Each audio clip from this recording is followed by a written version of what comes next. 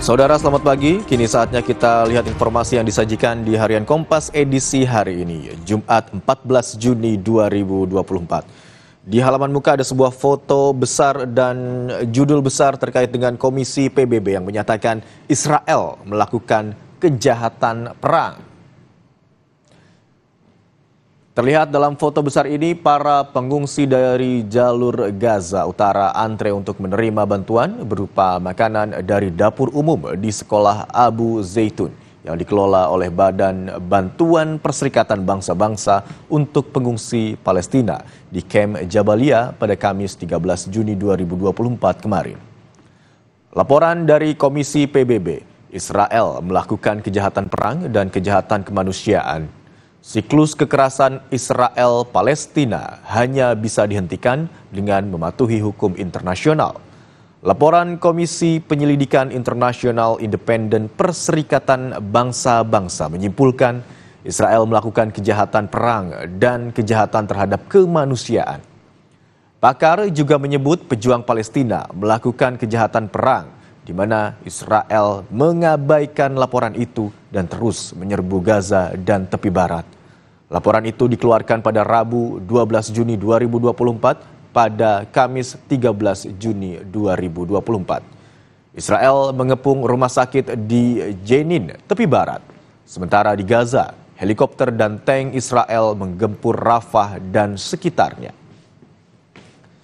Di halaman muka ini terkait dengan uh, aksi dan juga konflik serangan yang dilancarkan oleh Israel terhadap Palestina, dilengkapi dengan informasi rinci terkait dengan kencaman dunia atas aksi militer Israel dan dukungan terhadap Palestina.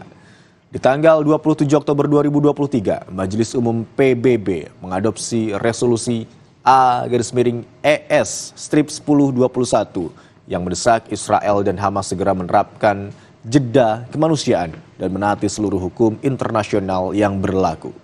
Kemudian di tanggal 22 Desember 2023, Dewan Keamanan PBB mengadopsi resolusi 2720 tahun 2023 yang menghendaki Israel dan Hamas menaati hukum internasional, melindungi warga sipil dan membuka koridor kemanusiaan di jalur Gaza.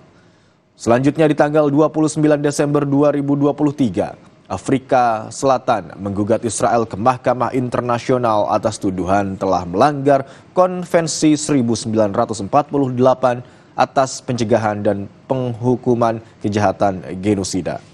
Hingga yang paling terbaru di tanggal 12 Juni 2024, Komisi Penyelidikan Internasional Independen PBB Laporan komisi ini menyimpulkan Israel telah melakukan kejahatan perang, kejahatan terhadap kemanusiaan, dan pelanggaran aturan-aturan internasional selama perang di jalur Gaza. Komisi juga menyebut kelompok perlawanan di Palestina bertanggung jawab atas kejahatan perang. Selanjutnya saudara, di halaman lain juga kita akan coba lihat sedikit. Di halaman uh, eh, 15 ada informasi terkait dengan maraton pelari wajib menggunakan nomor lomba sendiri. Nomor lomba atau BIB perlari di Bank Jateng Borobudur Marathon 2024 bukan hanya angka yang menempel di jersey. Nomor itu juga bisa menjadi penyelamat dalam situasi darurat.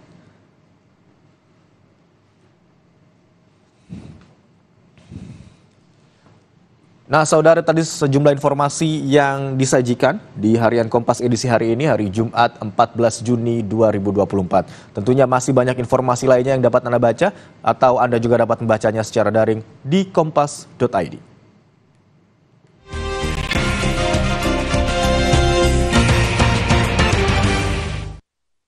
Dan usai jeda kami akan kembali dengan informasi seputar pelaksanaan ibadah haji di Mekah, Arab Saudi. Di antaranya, ada sekitar 300 jenis obat yang disiapkan untuk penanganan jemaah yang sakit untuk dikerahkan ke Arafah, Musdalifah, dan Mina